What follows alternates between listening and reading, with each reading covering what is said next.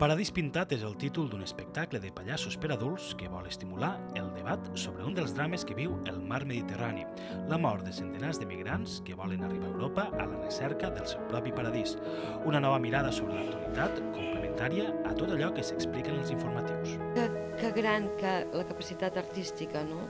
i en el teatre, com fent abstracció d'aquesta realitat, perquè jo no ensenyo cap forma humana mm, real, jo, jo no ensenyo cap persona concreta, ni el nen de la platja ni el nen de...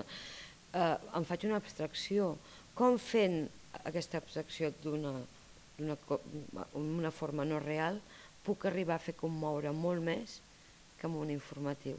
Això és, això és teatre, això és, és, això és l'art. Ja fa 10 anys que la pallassa Pepa Plana va traslladar la seva residència i també el seu espai de creació en una granja ubicada als afores de Sant Jaume d'Enveja, entre els arrossars del Delta de l'Ebre. I és des d'aquí des d'on ha creat els seus darrers espectacles, alguns d'ells vinculats al mar Mediterrani.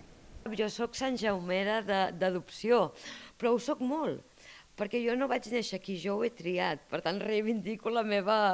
Eh, quan tu tries viure en un lloc és que ho vols molt, molt més que si t'ha tocat néixer, que ja a vegades ni et mous.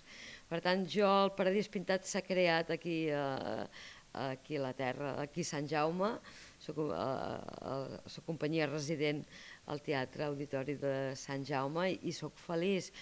T'inspira molt, moltes coses viure aquí, és molt diferent que viure en una gran ciutat i el, i el Paradís Pintat una mica envoltada d'aquest paradís sí que em va inspirar.